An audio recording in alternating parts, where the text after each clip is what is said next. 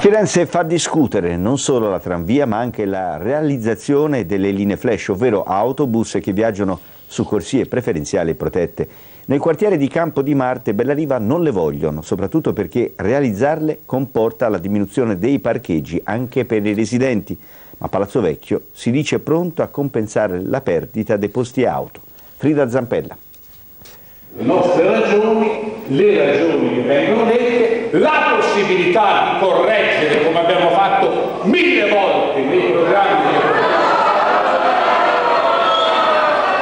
Firenze, dice il vice sindaco Matulli, i cittadini non sono mai contenti, contestano la tranvia, contestano le linee flash degli autobus. Al quartiere 2 assemblea infuocata mobilitazione per dire no al progetto delle linee veloci 17-14, linee considerate anche dai sindacati ATAF da proteggere in quanto funzionali alla mobilità fiorentina. Per il comitato che riunisce contestatori di Campomarte e Bellariva non serve però perché il risparmio di tempo rispetto all'attuale linea sarebbe di solo 3-5 minuti. La realizzazione di corsie preferenziali è però la strada già decisa da Palazzo Vecchio che ha steso il progetto per il quartiere e lo ha finanziato con 550 mila euro, uno spreco per Paolo Marcheschi di Forza Italia. Il Campo di Marte è uno dei pochi quartieri che ha una buona vivibilità, la linea 17 funziona bene fino al centro, non si capisce perché si debba spendere soldi per togliere parcheggi ai residenti.